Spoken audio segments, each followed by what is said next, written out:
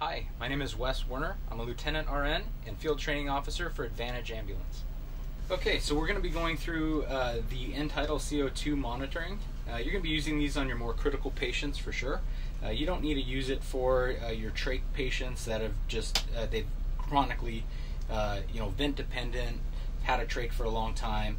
Um, uh, those patients don't need to have this. But if you have a recently intubated patient uh, or you uh, uh, or they're just much more critical, you're going to want to go ahead and use this as an adjunct to your care. So over here you have uh, this little sleeve here. You pull it back and it pulls back on these little tabs. Uh, and that's going to go directly into the back of your monitor. And let's, let me show you here. I'm going to turn on the monitor. Okay, and there's nothing here saying end-tidal CO2. All right, so show you. Right there is where you plug it in.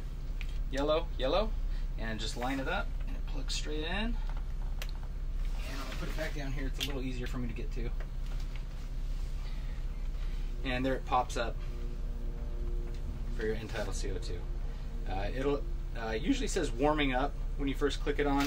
Uh, these are the airway adapters that you would put in. These are disposable, obviously. Uh, they're tapered at one end, squared off at the other, just as this is, so it can only go in one way. And clicks in like that.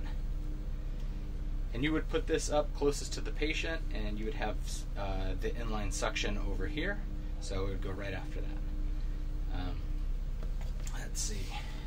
And then to remove it, you're going to pull on the sides here carefully. And I just grabbed onto this, I pulled up, and uh, it released. This is a fiber optic cable, so you want, when you're storing this, to use really large loops. Um, these are not cheap by any means. So please give them really wide loops and take care of this. That's why it's part of your checkout, specifically on your checkout. We have you actually sign it out of our log um, that you have it with you. Um, that would go in the trash, and this would go in your CPAP, BiPAP box, uh, and it also has end-tidal CO2 equipment in there as well.